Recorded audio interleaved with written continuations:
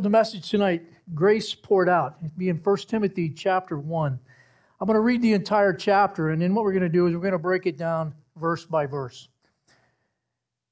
The Apostle Paul writes, he says, Paul, an apostle of Jesus Christ, by the commandment of God our Savior and the Lord Jesus Christ our hope. To Timothy, a true son in the faith, grace, mercy, and peace from God our Father and Jesus Christ our Lord. As I urged you when I went into Macedonia, remain in Ephesus that you may charge some that they teach no doctrine, no other doctrine, nor give heed to fables and endless genealogies which cause disputes rather than godly edification, which is in faith.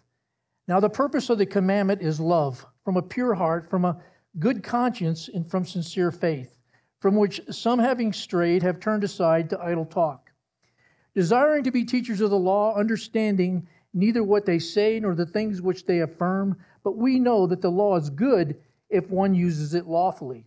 Knowing this, that the law is not made for a righteous person, but for the lawless and the insubordinate, for the ungodly and for the sinners, for the unholy and profane, for the murderers of fathers and murderers of mothers, for manslayers, for fornicators for sodomites, for kidnappers, for liars, for perjurers, and if there's any other thing that is contrary to sound doctrine, according to the glorious gospel of the blessed God which was committed to my trust.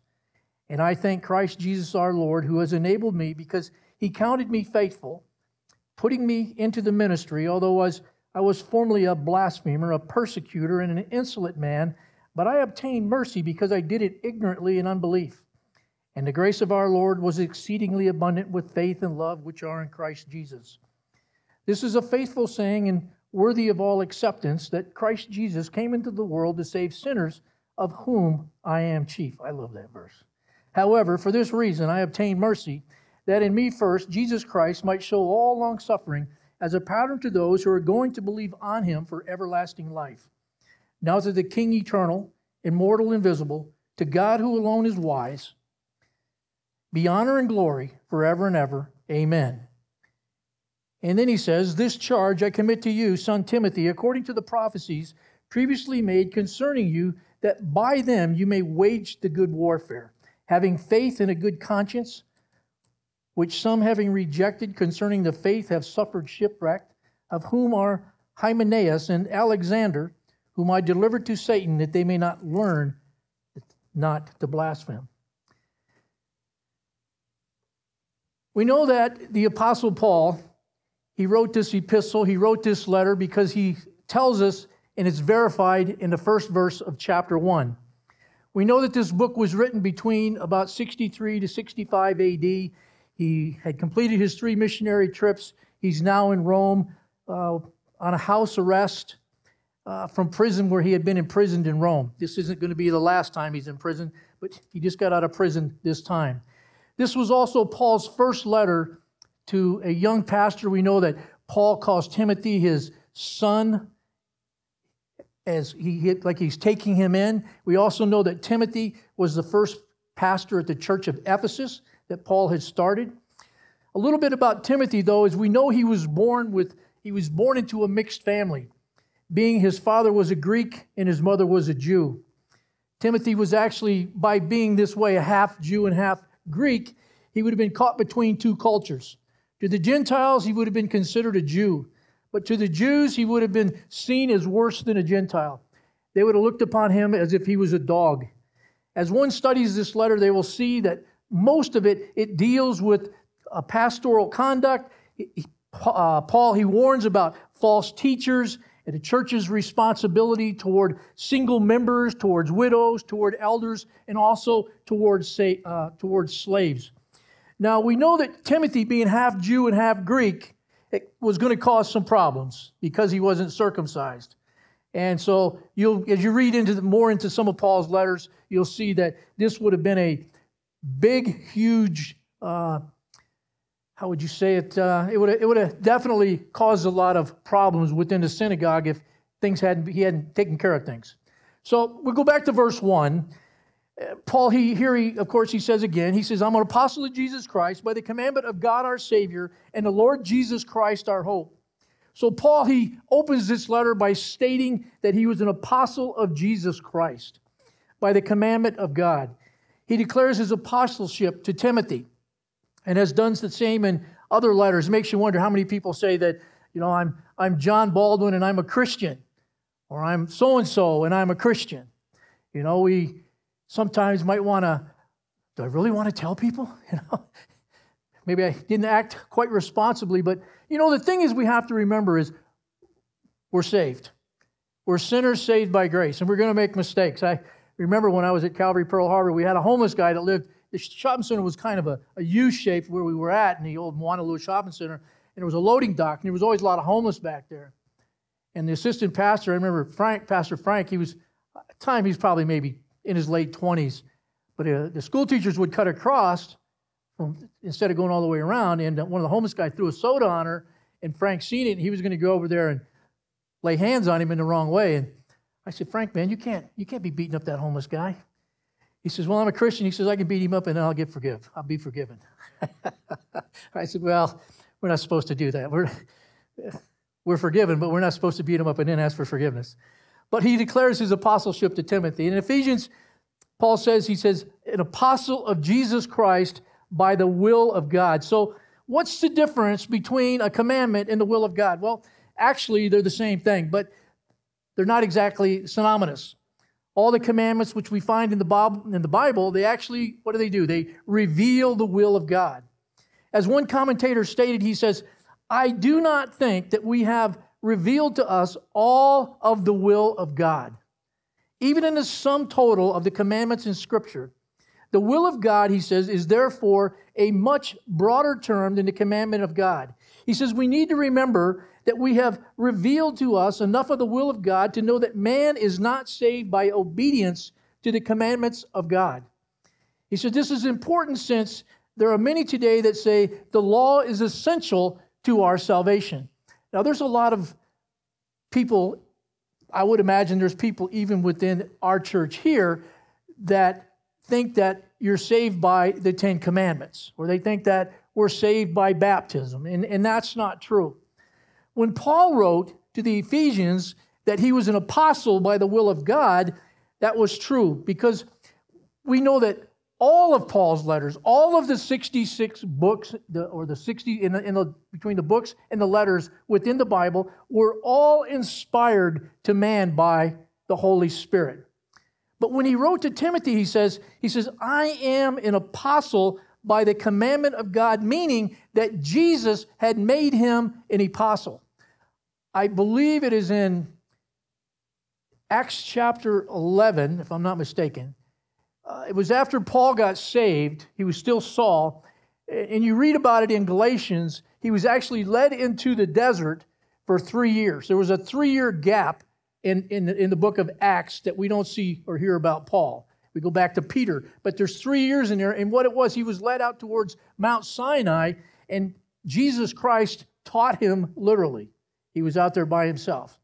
So Paul said he was he's unworthy to be an apostle, but Jesus had said, he says, I command you, and that is the reason Paul could walk into a synagogue or go before an audience in Athens or a group of sinners in Corinth and boldly declare the gospel.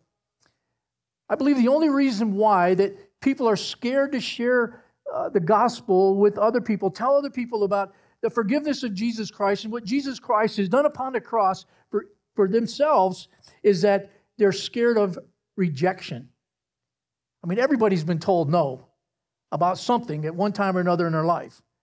But we need to remember what Jesus said. He says, when you go forward, he, forth, he says, his Holy Spirit is going to be the one that's going to give you the power that you need to share the gospel. It's, it's, and I'll tell you, there is no nothing greater in this world than Jesus Christ like giving us the opportunity to share the love with, of Him to, with someone else.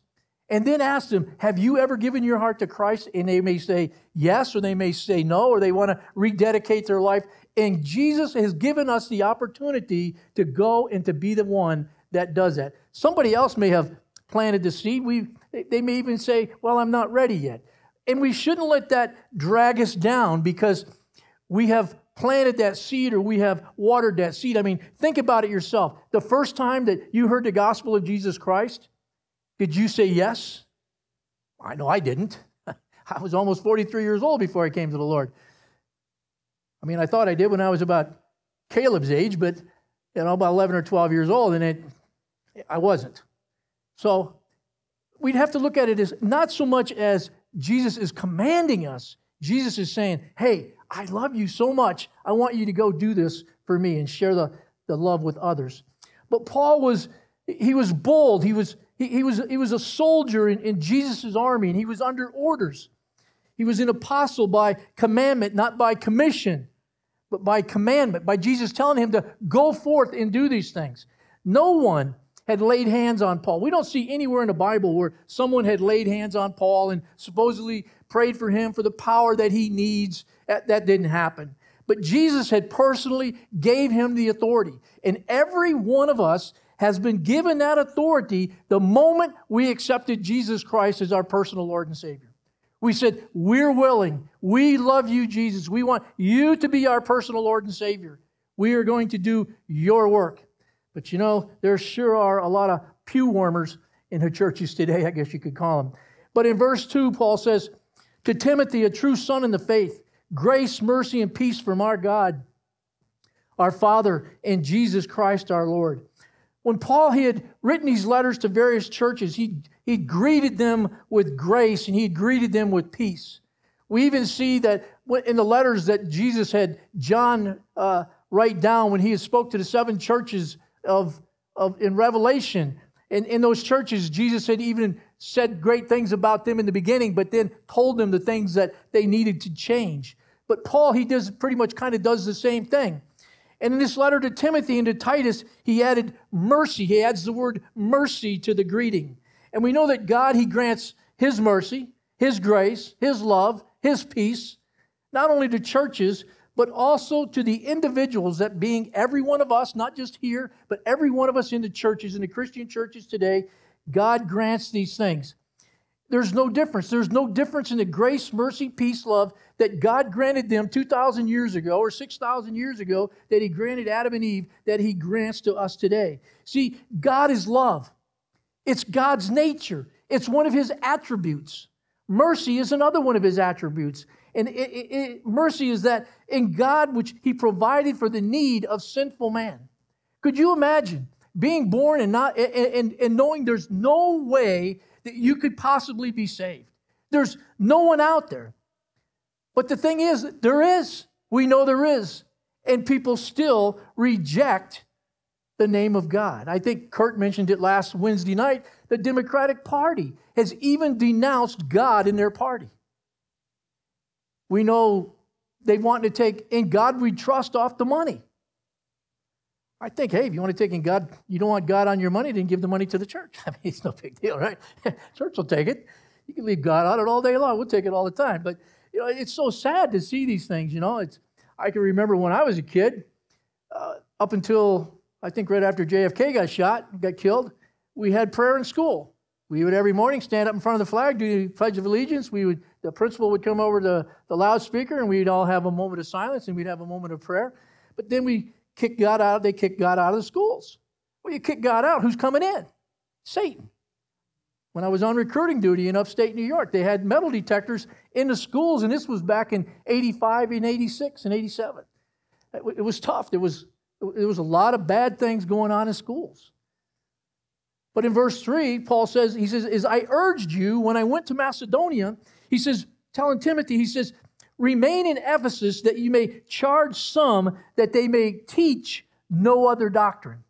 Now, Macedonia was actually a, a Roman province on the Balkan Peninsula, which is the northern portion of modern Greece today. And Thessalonica and Philippi were also located there in Macedonia. And Ephesus was a harbor city located in Asia Minor, which is actually the country of Turkey today. I know there's churches out there that you know you can go on instead of like tours to Israel, you can go on these tours of of where uh, on Paul's different journeys. Be kind of interesting. But Ephesus was one of the largest cities of the time in the Roman Empire. And Paul, he went to Ephesus on his second missionary journey. We see this in Acts chapter 19, verse 1. And he spent three years there. We know he was a tent maker there. And in his farewell speech, he'd warned the Ephesian elders about the threat of false teachers. Isn't it interesting? 2,000 years ago, he was warning them about false teachers. And we see this in Acts chapter 20, verse 29 to 31. And for this reason, Paul, he urges his son Timothy, his spiritual son Timothy, and the believers to hold on to sound doctrine. You know, like the, the technology we have today is great if we use it in the right way. I mean, whether it's these smartphones or the internet or TVs. I remember they had the iPad or iPods, you know, and all these other things that they had out there that you can use. And but you know, on, on the smartphones today, uh, the things they have out there. You know, a guy told me here a couple weeks ago about Clark County Library. You can actually get an app and you can download these uh, Audible books. So I went on there and I went to the library last week and I got it and I ordered. Uh, Knowing God by J.I. Packer. I don't know if you've ever read it. If you haven't, I would encourage you to read it. It's a, or download the app and, you know, I had to wait, I don't know, five or six days before it came available. So I, which is good because it tells us that there's a lot of people reading it. And you can read it and you can listen to it. And I put the Bluetooth in, and as I'm making my rounds in the park, I listen to it for about three and a half hours. And then the next night, I'll do the same thing. Or you can get, you know, I was telling the, the youth in there one Sunday, there's another app out there called Bible.is. And there's, gosh, there's got to be uh, 50 different translations of the Bible. I, I don't know, I listen to the English Standard Version because it's in a theatrical version. And every person in the Bible has a, is a different person, whether it's a male or female. You can hear the water running. You can, like, when the, uh, you can hear the, you know, the, the Roman soldiers pounding the nails into, the, into Christ. You can hear them ripping the, temp, the, the, the, the veil in the temple. It's very neat the way it's done. You know, and you get into the revelations and the angels are singing and so forth. It's quite interesting. And you just put it on and listen to it. You know, there's just so many things out there that we can do which uh, helps us to strengthen our faith, helps us to learn more about Jesus Christ. You know, instead of listening to some of these radio stations out there, you know, you can listen to the true Word of God. But you know, he says here in verse 3, or 4 rather, he says, Nor give heed to fables and endless genealogies which cause disputes rather than godly edification which is in fault. Now, a fable refers to legendary stories about the gods, the gods being a little g. These stories actually, they distracted from the truth of the gospel message and the sound doctrine that re- would truly resulted in good godly behavior. And the genealogies were actually a record or an account of uh, the ancestry and the descent of a person. It was very important uh, back then and, and, even to this day of genealogies. You know, you can, I, I know Keiko, for Keiko, for example, she's full Japanese, and you can go back in the genealogies six or seven hundred years probably until this white boy come along and kind of ruined the, the, the, the genealogy a little bit, you know. But you can, you can go back. But the genealogies for Jews so that they knew that they were actually of the Jewish faith. But some believers in Ephesus may have used genealogies uh, possibly to exclude others from fellowship or coming into the ministry. You know, well, you're not a full blooded Jew, you can't come in. You know, you're, you're, you're, you're like Timothy was. But here Paul argues that no one, absolutely no one, should be excluded. Rather, uh, prayer should be made for all because God wants all people to be saved. In verse 5, he says, Now the purpose of the commandment is love from a pure heart, from a good conscience, and from sincere faith. Warren Wiersbe states, he says, there's three things that should be manifest in the church. The first is, he said, the first is faith faith in God and in God's word. Now, as a Christian, we have to believe and have faith that all 66 books are God's Word. In the beginning, God created the heavens and the earth, all the way to the very end of chapter 22 of Revelation, where the last word is Amen. We cannot pick and choose. You can't take a, a, a black sharpie and say, ah, I don't like that verse. Oh, that one's not, I don't like that one either.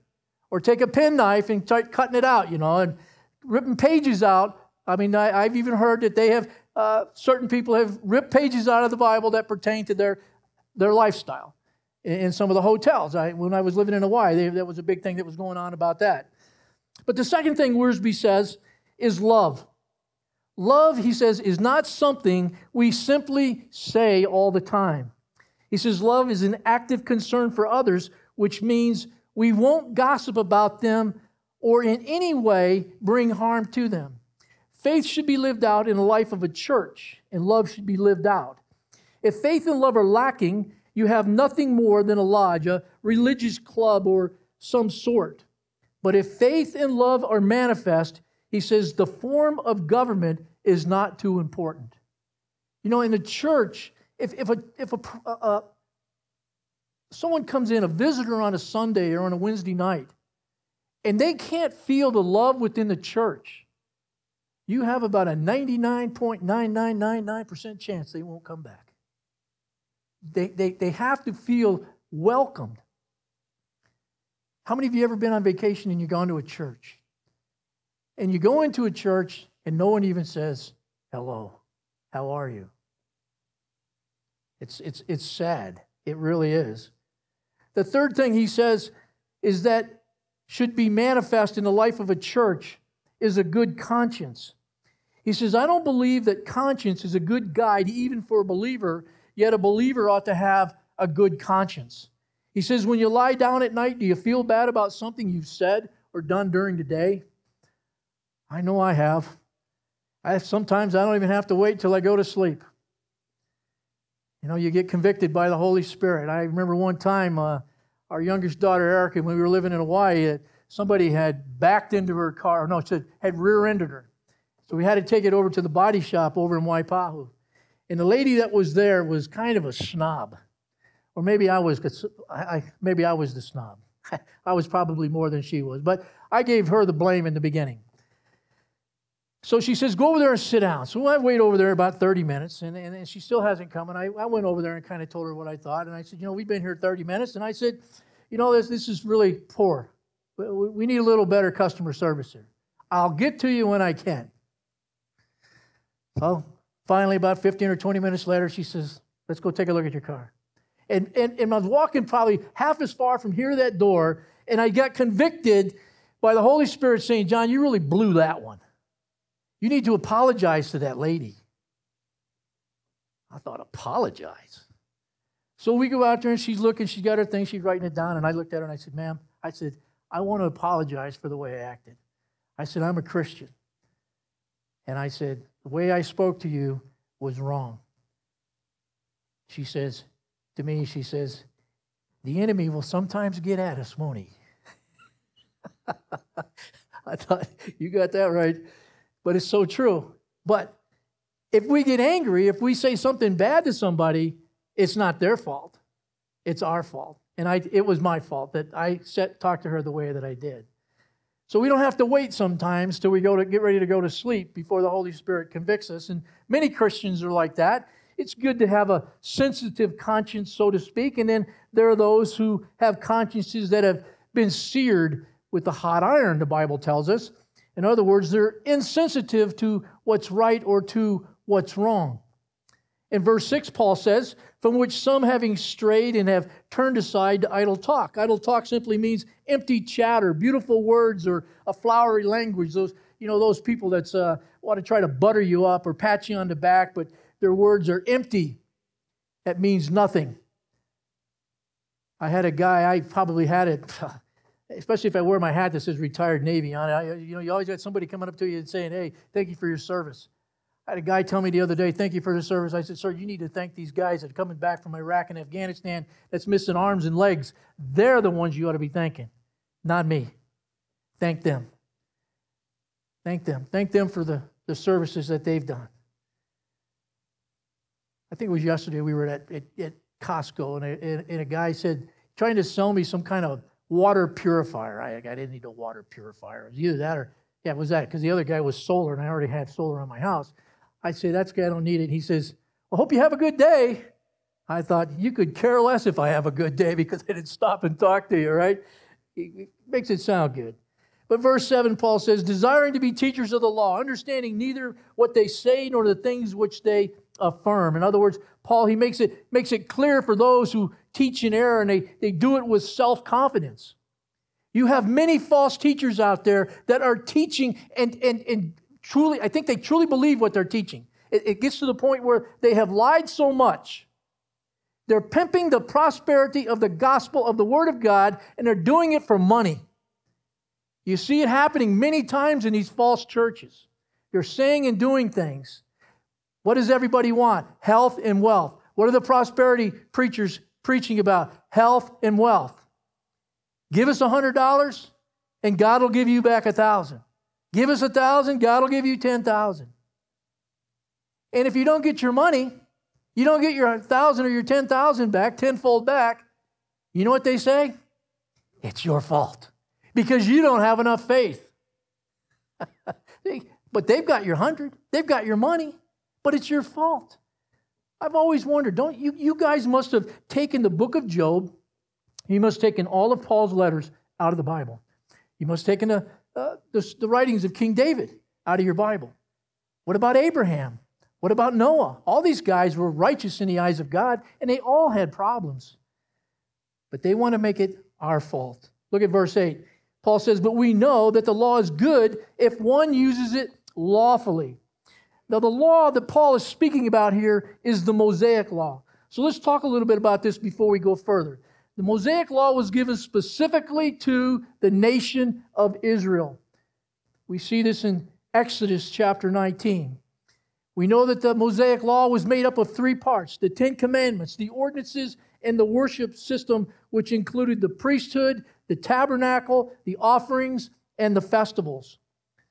Now, we see the, the purpose of the Mosaic law was to accomplish the following. First, it revealed the holy character of the eternal God to the nation of Israel. The second thing is we, it set apart the nation of Israel as distinct from all other nations. God wanted the other nations to be jealous because of what he was doing for the nation of Israel, that these other nations would want the same thing. But what was so unfortunate as we read the Old Testament that the, the nation of Israel turned away from God. Man, I tell you, you read the book of Judges, and it, it's just so sad. They, they, God would let them wander on their own for 7, 15, 20. I think the furthest was 35 or 40 years. One time he even let them go for uh, 70 years before. It, it, you know, what it says, and God heard their cries. Well, God heard their cries from the very beginning. But if you people want to be that way, then go ahead. I mean, look at what he did with uh, the, the people that came out of, initially out of, out of Egypt. The first generation died because they were a bunch of complainers, whiners, and stiff necked, and so forth. But the third thing we see is that the law reveals the sinfulness of man. Whether you're saved or not, if you look at the Ten Commandments, you can see if you're what type of person you really are. Although the law was good and it was holy, as we see in Romans 7 12, it did not provide salvation for the nation of Israel.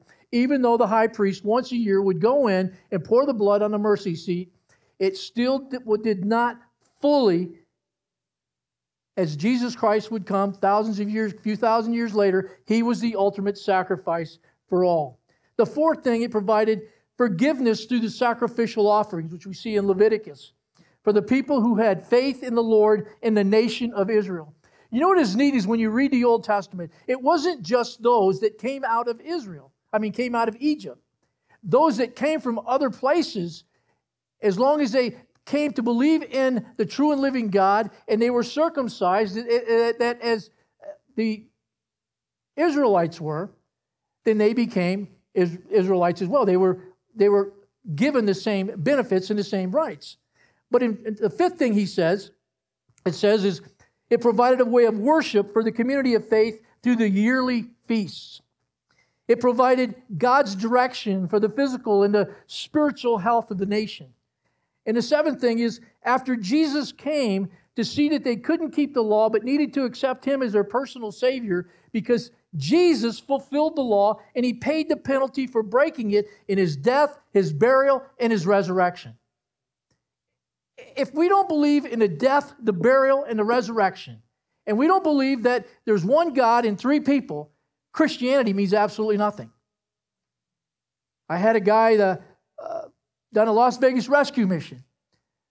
He told me he was a Messianic Jew, but he didn't believe in the Trinity. I said, That's impossible. It's impossible. What he did was he gave me about three weeks so I could teach on the Trinity. so everybody would down there would know the truth. But look at these two scriptures up here in Galatians chapter 3, verse 24. Paul says, Therefore, he says, the law was our tutor to bring us to Christ that we might be justified by faith. Romans 10 4. He tells the Romans, he says, For Christ, well, he doesn't tell the Romans, he tells the church at Rome, he says, For Christ is the end of the law for righteousness. Listen to what he says to everyone who believes. See, that's the key. We have to believe. We have to confess with our mouth and believe in our heart that Jesus Christ died and rose again. And the Bible tells us we will be saved. So the believer in Christ has the righteousness of the law fulfilled in him as he obeys the Holy Spirit who lives within him. In Romans chapter 8, verse 4, Paul says that the righteous requirement of the law might be fulfilled in us who do not walk according to the flesh, but according to the Spirit. The Bible also tells us that the law is written on man's heart. Man knows if you steal something, it's wrong. Man knows that if he commits adultery, it's wrong. He knows if he's a murderer, it's wrong. It, it, even those that use God's name in vain, they know it's wrong because as soon as they find out that you're a Christian, most of them, not all of them, my supervisor, he got one of the worst mouths of anybody I've seen. You know, they say a, a, a drunken sailor got a bad mouth. I'll tell you what, he spoke a whole lot worse than I did when I was a drunken sailor. I'll tell you that much. He's bad. But most people will, oh, they, they think of you as a Christian and then they don't use God's name in vain. But it's on, it's on our heart. We know it's wrong. We know it to covet for something is wrong. And you got all the Ten Commandments. We know that as a child, if you do something, you don't obey your father and mother, you know that it's wrong. Right, Caleb? Okay, good. No, he's already told me that before. Just, just pick it up. He's a good kid. Have you ever made a choice to accept Jesus as your Lord and Savior, realizing that He has fulfilled all the commandments all the time? He even paid your penalty by, for you breaking them? It makes you wonder why wouldn't somebody want that? It's better than hitting the lottery. It really is.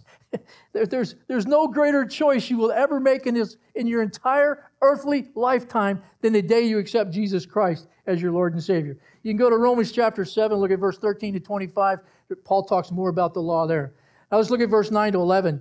Paul says, Knowing this, that the law is not made for a righteous person, but for the lawless and insubordinate, for the ungodly and for sinners, for the unholy and profane, for murderers of fathers and murderers of mothers, for manslayers, for fornicators, for sodomites, for kidnappers, for liars, for perjurers. And if there is any other thing that is contrary to sound doctrine, that's kind of neat. If I left anything out, he says, if it's according to sound doctrine, uh, according to the glorious gospel, of the blessed Jesus Christ, which was committed to my trust.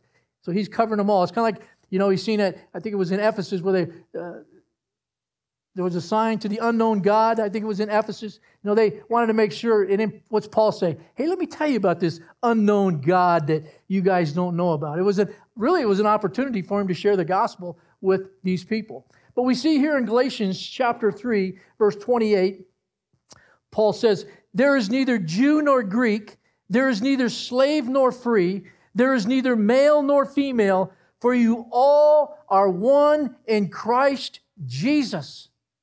You know, and we lived in Hawaii, Hawaii was kind of like a melting pot in a way for the world. I mean, it was just about every nationality you could possibly think of there in Hawaii. And the beautiful thing was here on a Sunday or a whether it's morning, Sunday night, or, or Wednesday, or, or the men's breakfasts, the ladies' teas, whatever was going on, you know, it was all different nationalities of people coming together serving Jesus Christ. You know, nothing is so sad when someone says, well, Jesus is a white God. No, he's not. No, he's not. Jesus is for everyone. Anyone, the Bible said, anyone that calls on the name of the Lord shall be saved. You know, it's like I tell the guys up at the prison, if we, you know, you up there a lot of times they, they kind of segregate themselves. You know, there's like the black guys over here, the Mexican guys over here, the white guys over here, and it'd be like sometimes maybe one or two Asians sit in the back. I said, come on, let's all get together. We all join together and we mix up. Well, we can't do that in the galley. I said, we're not in the galley. We're in the chapel. If we can't get together now, how in the heck do you think we're going to be able to get along in heaven? Let's practice while we're down here. Let's practice while we're here. But you know, contrary to popular belief, I'm not okay. And I'm going to tell you something, neither are you. We're all sinners. Every one of us is a sinner in need of a Savior. And once one comes to that understanding, they no longer are under the demands of the law. See, we don't need the law. We need Jesus Christ. Because once we receive Jesus Christ as our personal Lord and Savior, we're going to stop doing the things, maybe even breaking those Ten Commandments. We're not going to use God's name as a swear name anymore. We're going to use God's name as a praise name. We're not going to covet what someone else has. I don't know, I may have said this before. You ever, you ever work on something in the wintertime, you smack your thumb, you know, like you pound a nail and you hit your thumb? It feels like it's about to throb off. And, you know, and back in the world, we would use God's name in vain.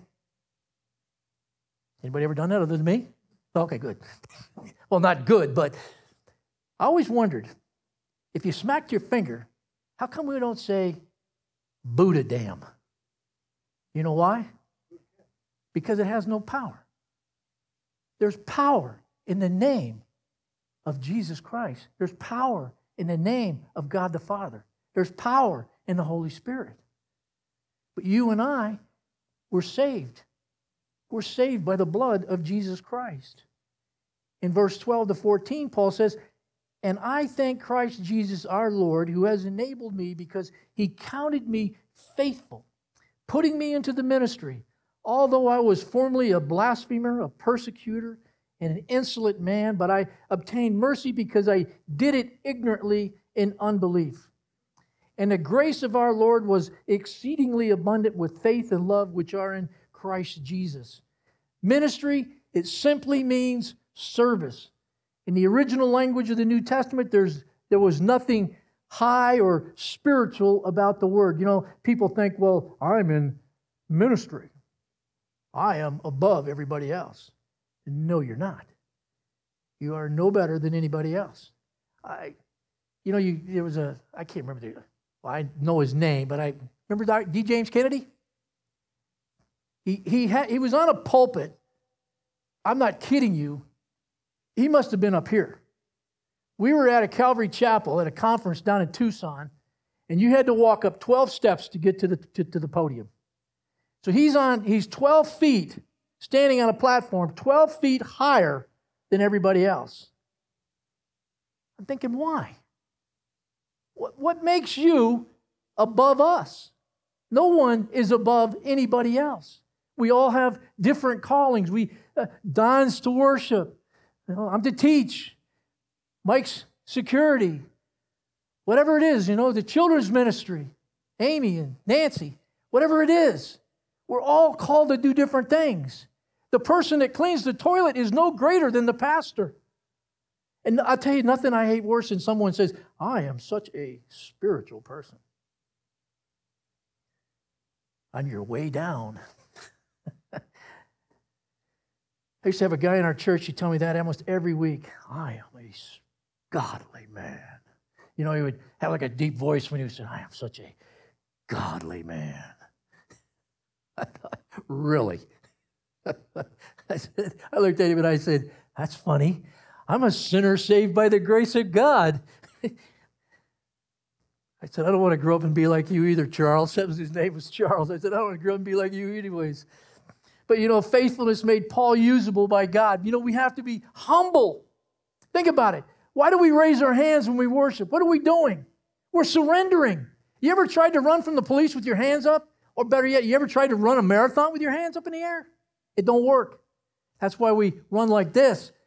We put our hands up. We got to humble ourselves. What did we do when we accepted Jesus Christ? We humbled ourselves, did we not? We said, I can't do it anymore on my, on my own, Lord. I need you. When we pray, what are we doing? We're humbling ourselves. We often see our Christian service as a matter of volunteering.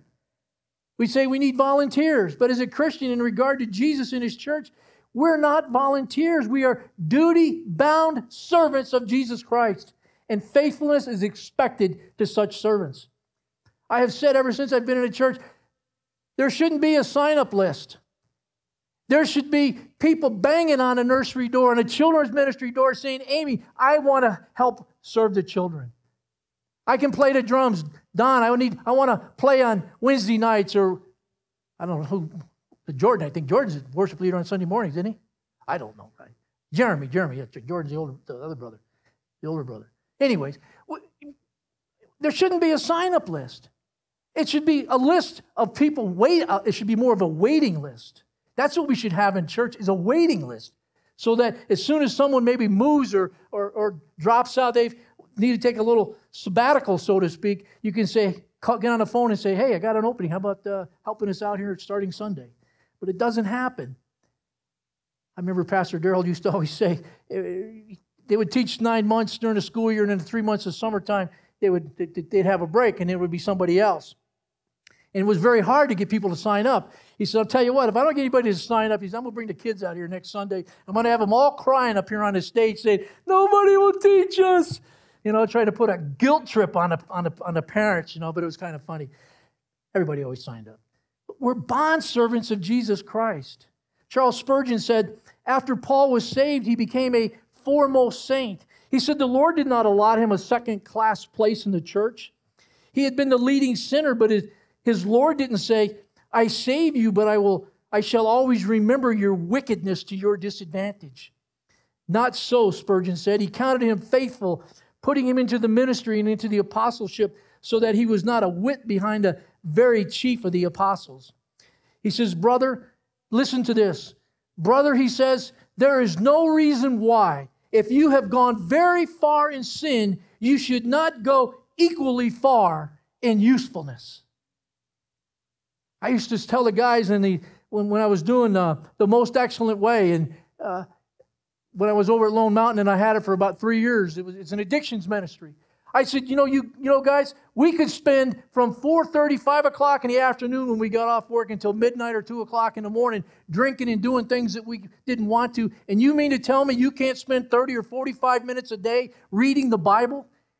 And praying and talking to the Lord, but you can spend all these hours doing these things in the world, and you can't do a little bit of time. You know, you got people to say, "Well, I, that, that's that 10 miles away from my from my house to church. I can't drive that far, but we'll drive to L.A. to watch U2. Or we'll go spend $180 and listen to George Strait down here at the uh, T-Mobile Arena. People will do that, but they haven't got time for Jesus. Verse 15, Paul says, This is a faithful saying and worthy of all acceptance that Christ Jesus came into the world to save sinners. He says, Of whom I am chief. The closer that Paul drew to Jesus, the more he understood the extent of his sin. It should be the same way with us. The more we draw closer and closer to Jesus, the more we know how much we are a sinner saved by his grace. But the good news is that sinners are the very people Jesus came to seek and serve. He came for us. J. Vernon McGee says, when you give your testimony, make sure that you don't tell people how wonderful you are or all you have accomplished. He says, tell them you were a sinner and that Christ saved you. He says that is what is important. When Paul says he was the chief of sinners, he's not using hyperbole. He's using high flung oratory. He's speaking the truth. He was the chief of sinners. He blasphemed the Lord Jesus Christ and shot out, a, shot out his lip at him. But Paul says, I have been saved. And that's what we ought to be saying. I am saved by the blood of Jesus Christ. McGee says the Lord Jesus came to save sinners. And if you say, I don't think Christ can save me, he said, I'm the worst he says you're wrong. Paul says he is the chief of sinners, and the chief of sinners has already been saved. So you will be able to be saved if you want to be. The decision rests with you. All you need to do is turn to Christ, and Jesus will do the rest. All I can say is amen to that.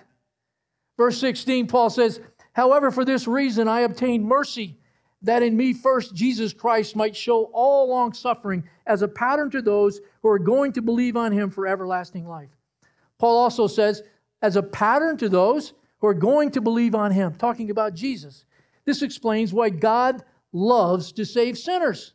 They become a pattern to those who are going to believe on him. God wants others to see what he can do by, by working in us. I'm telling you, I don't, when I first got saved, I thought, how in the world could the Lord use a sinner like me? Paul was a chief. In the Navy, that's an E7. I was a master chief. That's an E9. I'm two pay grades above being a chief. so, Paul, I got you beat, man. but I thought, Lord, how can you use me? And I did a character study on the Apostle Paul. I thought, man, I've never killed anybody. I think the only thing I ever stole was a couple pieces of bubble gum out of the Greyhound bus station when I was in about the sixth grade down in Westfield, New York. Other than that, I don't think I've ever stolen anything. I know I haven't, I haven't always been a good guy by, by no means, but you, you look at some of these people that's in the Bible, and we look at the Old Testament, and they were all sinners. They'd done some bad things. But you go to Hebrews chapter 11 and you look at the hall, the hall of faith, they're nothing but good people saved by the blood of Christ. They put their trust and faith in Jesus Christ. God wants others to see what He can do by working us. You know, it's so interesting when you go up to prison, you see some of these guys that have been murderers, they've killed people. They've done some very bad things, these pedophiles. I, am quite interested in, uh, well, I don't want to say it's because we're on camera, but I can tell you about it later. But you see some of these guys that have done some pretty bad things, and they come to know Jesus Christ. You see them up there actually preaching. High Desert State Prison is one of them here in Nevada that lets the inmates actually preach the Word of God. It's, I tell you, it's really interesting. We were, uh, this must have been about five or six years ago. We had about 20 minutes left, and I said, let's, let's do a time of prayer. And I had probably about, there's probably about 60 or 70% of the guys in there was for, for Spanish, from Mexico. They couldn't, a lot of them couldn't speak English. And so I opened it up, and nobody was starting to pray. I said, hey, look, I had this guy could speak, translate for me. I said, tell him that God understands Spanish. Just like he understands Japanese and Tagalog and German and everything else. He's the one who created it, he can understand it. This guy in the back, he stands up and he starts praying. I could understand a couple things Jesus, Padre, and a couple other words that he was saying in Spanish. And he must have prayed for 10 minutes straight. And, I don't know, the, the, the Holy Spirit was, was just working on the hearts of these other guys because I don't think there was a dry eye in that room. There must have been 50 guys in there that morning. And when he said amen at the end, it was just, it was beautiful. But he told me that he had been in lockdown in Ely for 10 years. 10 years. That's 11, that's 23 hours and 15 minutes a day in about a six by eight cell.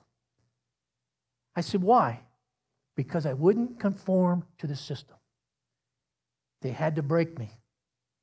And then they moved him down here. I couldn't imagine that. In a six by eight cell, 23 hours and 15 minutes a day. That's where he was.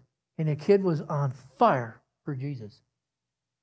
You know, the son of Sam, remember the serial killer in New York back in the 70s? You know, he has never requested to be paroled. He believes God has him where he is today for a reason, and that is to witness to other inmates. Remember Jeffrey Dahmer? He gave his heart to the Lord before he died, got killed in prison. And there's a whole bunch more.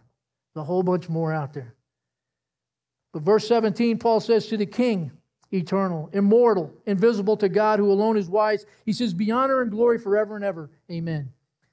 Now, Paul turning from a blasphemer into a believer, he has no other recourse but to, to burst forth in praise Remember what Paul told the Romans in his opening letter to them? He says in, in Romans chapter 1, verse 16 to 17, he says, For I am not ashamed of the gospel of Christ. He says, For it is the power of God to salvation for everyone who believes, for the Jew first and also for the Greek. For it in it the righteousness of God is revealed from faith to faith, as it is written, the just shall live by faith. I bet you every one of us can say the day we gave our hearts to Jesus Christ, our lives started to change. Because if they didn't, you really didn't accept Jesus Christ. I know there's people that say, well, it may take me six months, it may take me three months. No. If you truly gave your heart to Jesus Christ, your life is going to change because you were instantly filled with the Holy Spirit. And the Holy Spirit is going to change your life. Remember, darkness can no longer live in the light. Again, Paul uses the word charge. He says he did in verse 3. It's a, really it's a, it's a military word that refers to an order by a superior or a, a commanding officer. And this is what this is is actually Paul's personal charge to, to young Timothy as a man in the ministry. Paul says that by them you may wage the good warfare. In other words, never fight a war unless your heart is in it, unless you're fighting for a real cause and intend to win. You know, if, uh, say, uh, one of the countries uh, was going to invade America, came and invaded America uh, tonight, and we didn't even know they were coming. The, uh, the, the Army's going to regroup. The Navy's going to regroup. The Marines, the Air Force, they're going to come up with a strategic plan. That's why they're training time and time and time again for these different events that could possibly happen. I remember during the first Gulf War when Saddam Hussein invaded Kuwait. It took us three weeks from Yokosuka, Japan to get up into the Persian Gulf. We trained every day as if there was an anthrax attack if they had to shut the scuttles, if they had to shut off the ventilation, putting on the chemical protective overgarment suits and the gas masks. It about killed us from the heat down in the engine room, having to put on all that stuff. But we had to pretend as if it was real. And guys would break their gas masks, and I'd tell them, fall down on the deck, you're dead. Because as soon as you broke the seal on your mask, the anthrax gases came in, and you was going to die anyways. You'd get so bad it would sweat inside your gas mask and you'd have to drink your own sweat. It was that bad. But we prepared. We were ready in case something happened. We did have a, a, a one of the Russian MiGs that was driven by, flown by one of the Iraqi uh, Air Force that came at us. It, you would normally take being on. I was on the USS Midway, which is. If you ever get the chance go down to San Diego, it's a museum down there. It's great. And it usually would take seven minutes to set zebra on the ship. We did it in about three and a half minutes. In half the time, everything was sealed up except for the ventilation. And they knew they couldn't turn it off because it was going to kill us. But in three and a half minutes, we were ready, and one of the our planes, our jets, shot it down. It was interesting because the night before, we, we went in and, and attacked Iraq. The admiral came over and told us what we were going to be doing. And, the, and military chaplain went up and prayed for, the, prayed for us. We're down in the engine room. We're down in main control for the engines in the boiler rooms. As the planes are leaving, we're doing tick marks on the plexiglass. And as they're coming back, we're wiping it off. Everyone that left came back. We didn't lose a plane. We were the oldest aircraft carrier out there, all by the grace of God. Look at what Paul says in verse 19. He says, having faith and a good conscience, which some have rejected concerning the faith, have suffered shipwreck. Paul now changes his illustration from a soldier to a sailor. If anybody knew about a shipwreck, it was definitely Paul. He warned Timothy that the only way to succeed was to hold fast, hold fast to his faith, and have a good conscience. It's not enough to just proclaim the faith. We must practice it and we must apply our faith to our daily lives. We're to hear it, we transfer it to our heart, we transfer it to our hands, and we apply it. Verse 20. In closing, Paul says, Of whom are Hymenaeus and Alexander, whom I delivered to Satan, that may not learn, may not, excuse me, they may learn not to blaspheme.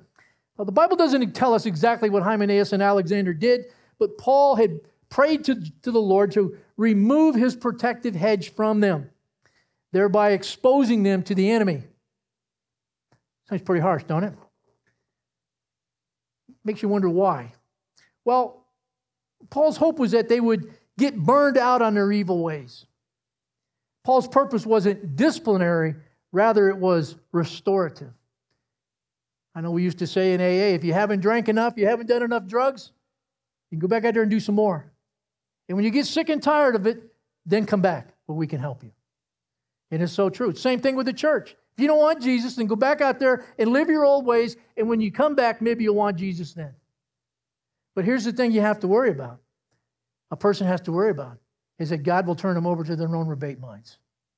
You may like that lifestyle so much, you've denied Jesus so long, God says, fine, and do it your way.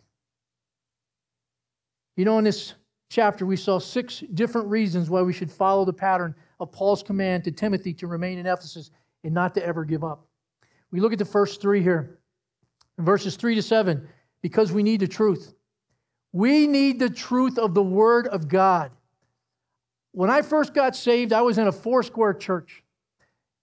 They believed in a lot of this charismatic stuff. They believed in the Big Bang Theory. I don't know about you, but I played with firecrackers or M80s, and if you blow something up, nothing ever good came out of it. but that's what they believe. We need the truth. I honestly believe if a person starts out in one of these churches, maybe it's even a word of faith, a word of life, whatever you want to call them churches, these prosperity churches. If a person says, I truly want to know the Word of God, if you start out down there in Joel Osteen's church, wherever it may be, Joyce Myers or Marilyn Hickey or all the rest of these phony balonies we got out there. It's, as Jude calls them, clouds without water. If you truly want to know the truth, you cry out to the Lord, God will teach you. God will show you the truth. Them verses, man, will be like they just reach out and smack you right across the forehead. In verses 8 to 11, because we minister in hard places. I'll tell you one of the hardest places to minister is to your kids, especially when they get older or they walk away from the Lord, or to your brothers and sisters, or to maybe somebody at work. And then in verses 12 to 16, because God uses unworthy people. You think, well, what do you mean unworthy people? Well, go in the bathroom and look in the mirror. He's using each and every one of us. In verse 17, because we serve a great God. You know, the Bible tells us that Jesus is the same yesterday, today, as he'll be tomorrow. He never changes, he's always the same. Verse 18, because we're in a battle and we cannot surrender. You know, the Apostle John says, I think it's in 1 John chapter 2, that if a person walks away from the Lord, it's because they never knew him in the first place. Think about that. That's a pretty harsh statement, I think. What do you mean, Lord, I walked away because I didn't know you? That's right, because you never knew me. Because if you truly know me, you won't walk away. You might walk away, but I'll tell you what, the Holy Spirit is going to grab you by the nape of your neck and turn you around, and you're going to come running back faster than you ever left. You won't stay gone long. We're in a battle. I remember what Pastor Chuck used to say the day you gave your heart to Jesus Christ, the BB on your back became a bullseye. Any of us that's given our heart, we've all, probably all know here, we've all given our hearts to the Lord. The enemy doesn't let up. The more you try to do for Jesus, the more he's coming at you. If he's not coming at you, you're not doing anything for the Lord. You're warm in the pew, or in our case, the chair. Verse 19 to 20, because not everyone has strong faith. You know, I was listening. Oh, CSN, for some reason, hasn't been on the radio for the last three or four weeks. So something's wrong with the radio. Uh, but I'll tell you what, there's an app. Go to this, get the CSN app. You can Bluetooth it.